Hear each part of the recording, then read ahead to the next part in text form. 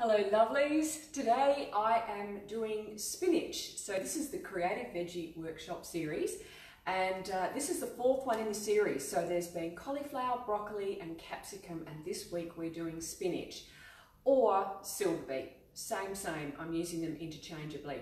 So I love spinach and um, I think you can just get it in in so many creative different ways and we're going to do, do four today. Now, I'm going to start with um, a breakfast sort of a, um, uh, a green smoothie. And what I love about this is that we can make our own almond milk. So lots of people use, you know, almond milk, coconut milk. We're trying to get away from dairy, so we're using all the alternatives. But in something like this, you can just do your own. Now, if you don't have a super duper powerful blender like this one here, this is the Vitamix, $1,000, um, amazing um, and you've just got a cheaper brand, then instead of just throwing everything in together, I would start with the, um, the almonds and the water and blend that first. So that way um, you are blitzing it down to um, as fine as it'll possibly go. I don't care if there's chunks, but you know, people, some people like it totally smooth, which you probably won't get unless you are using a beautiful blender like this one. Okay, so this recipe there's your almond milk. And then we want some sweetness. So you can either, I tend to use a banana, like for my breakfast every morning, I have a banana and a stick of celery and half a cup of water. And I blend that and then I add the other things. And I don't put them in the blender because I like the different textures. So um, your sweetness could be a banana uh, or it could be, you know, really whatever you want. Um, what am I trying to think of? Strawberries, that kind of stuff uh, or some dates. Just make sure that if you are using dates, you take out the pip in the middle. With a blender, powerful blender like this, it'll it'll blitz it up, and you'll just have these horrible little um, bits in it. Whereas a, a, cheaper blender won't be able to tolerate it, and it'll, it'll still be um, it won't get smashed. So there's the sweetness. Um, I do like to put blueberries in. Blueberries are an amazing um, uh, veg uh, vegetable fruit. Um, they're full of antioxidants. Blueberries are kind of like the king of the fruits. They're just so amazing. So pop those in. And any type of green, really. So this is where you can put in your kale. This is baby spinach, or you could use the, um, the silver beet. I will chuck in a couple of, I think the recipe says a couple of cups. You do whatever you like. Now the thing is with this, um, what you can also do is is because this will deteriorate really quickly, I would actually um, divide this up into serve size portions and then stick it in your freezer. And same with your bananas. If your bananas start to go a bit brown, um, peel them, put them in little Ziploc bags, and you could actually do this um, like put your spinach and put your um, blueberries and put your banana all in one little Ziploc bag and have it ready to go for your smoothies. So that's what I would do with those. And so now we are going to blend that in this amazing blender. It's on. No. Oh, turn it on.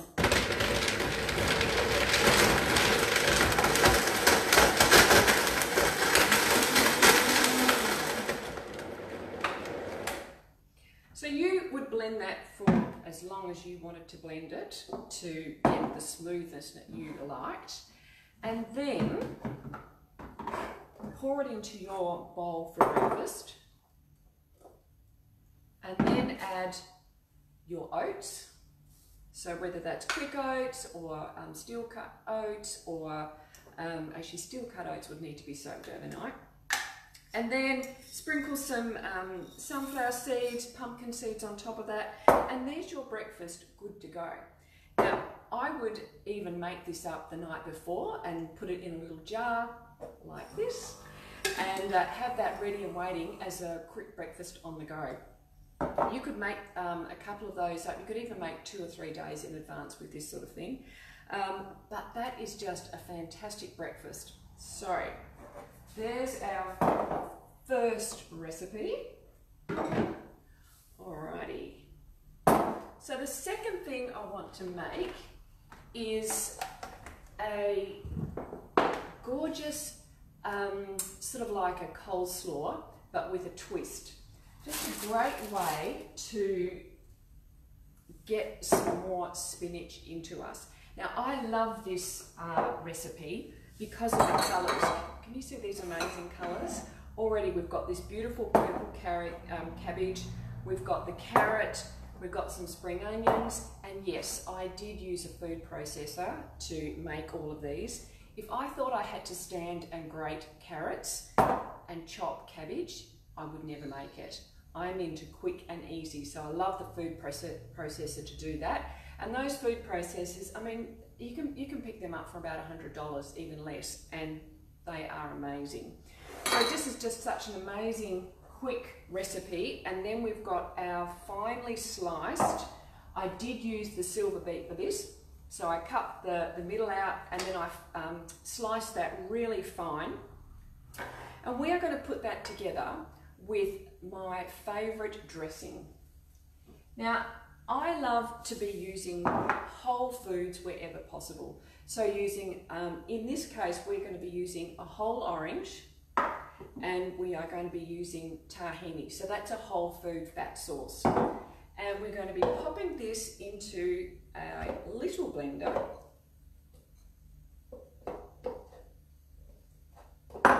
And the recipe is one orange to one tablespoon of tahini.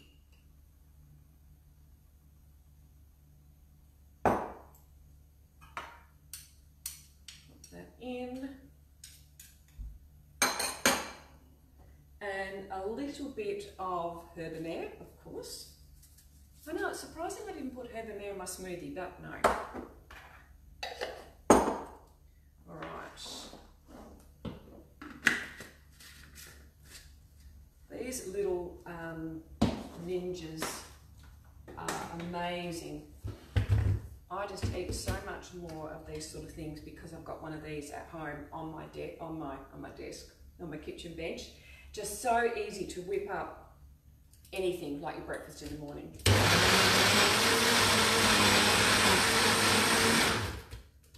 So that's it.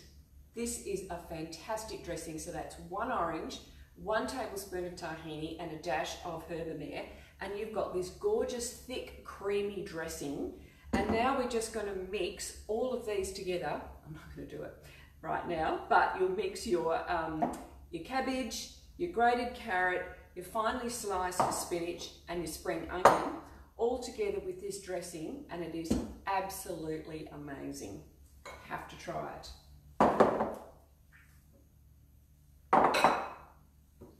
All right. Okay, number three recipe is a spinach pesto.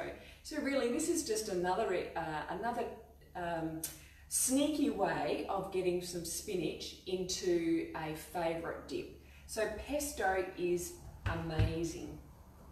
I love it because the basil is another really good source of green, a leafy green. So what we're going to do here is much the same. When I make, um, whether it's hummus or pesto, I do not add liquid oil. If I'm making a hummus, I will use all the same ingredients like chickpeas, tahini, and the garlic, um, and the lemon juice. And if, I, if it's too thick, I'll just add water until I get the right consistency, not olive oil. And it's the same with the pesto. I um, will play around with it with, and using a little bit of water if I need um, some more fluid to get the right consistency, but not the oil. So the, um, uh, the source of fat in this is going to be your walnuts, or in this case pecans, and the pine nuts. And these are these seriously are expensive, and I really, uh, you know, do try to make things economical. And if these are just not in the budget, then go for something else like um, maybe sunflower seeds or pumpkin seeds or, or, whatever seeds are on special. I know they do give a bit of a, you know, a yummy flavour. So with this one, we are going to start with the, um, the two nuts and seeds and blitz those down and um, and then add all of the other ingredients.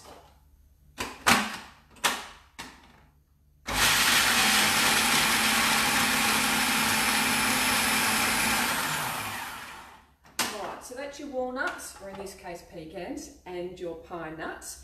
And then pretty much adding your, um, your basil, and in this case we're going to use the baby spinach.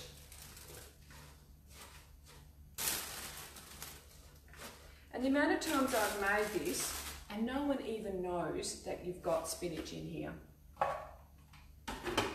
Actually, I will put the um, garlic. So you add as much garlic as you like. Some herbamare and the juice of, start with half a lemon and then see how it goes. And traditionally, your pesto has some, usually has parmesan cheese in it. Well, as you know, I tend to use um, nutritional yeast when I want a cheesy flavour, and this just works amazingly. I don't usually measure, but a couple of tablespoons, but if you make it, I mean, you make it and it's not cheesy enough, then it just adds some more. I'm very much a make it, taste it, and then add more of what you need.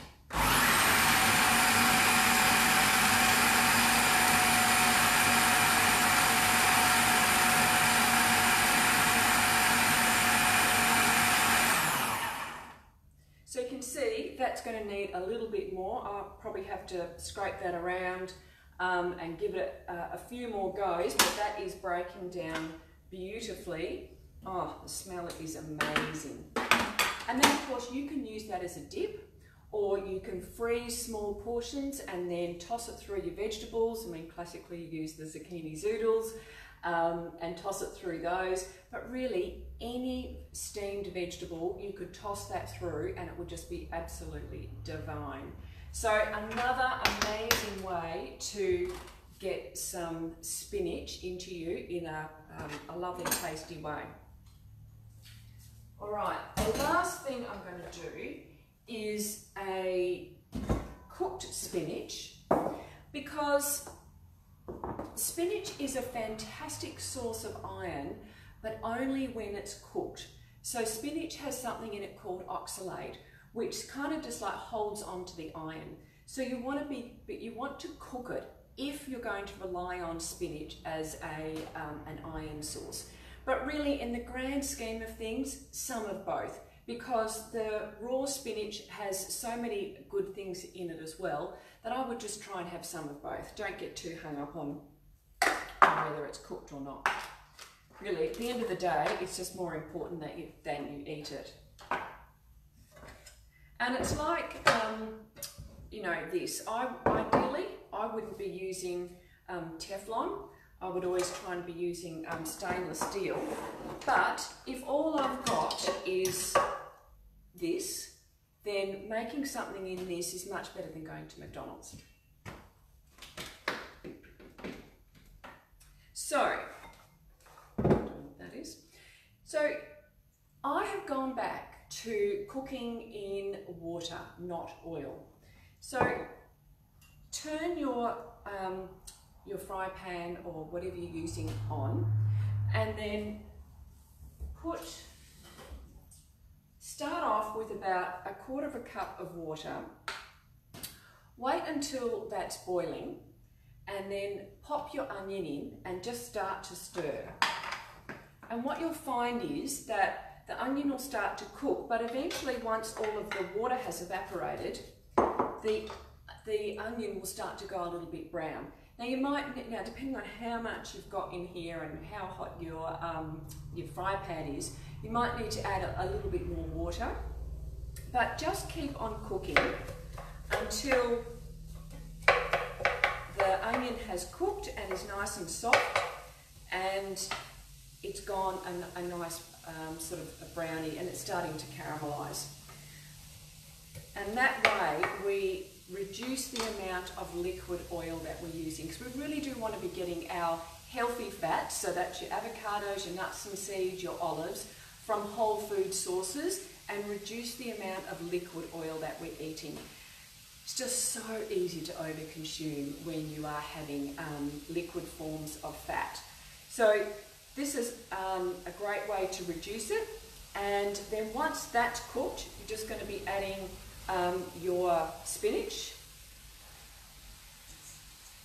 And I just roughly chopped this. And then we'll just cook that down. And then at the very end, throw in some mint. Now this is fresh mint out of the garden, so it's just lovely little leaves that you can just pop, pop in. And chuck those on at the very end, you'd be doing this. And then, once that's all done, just squeeze some lemon through. And this would be absolutely delicious on top of some baked sweet potato or as a side dish with any other vegetables that you're having. But it's just a different way to have spinach and to get more into us. So I hope you've enjoyed today and uh, I hope that has inspired you to get a little bit more creative and add some beautiful green into some of your meals this week. And I look forward to seeing you next week. Bye.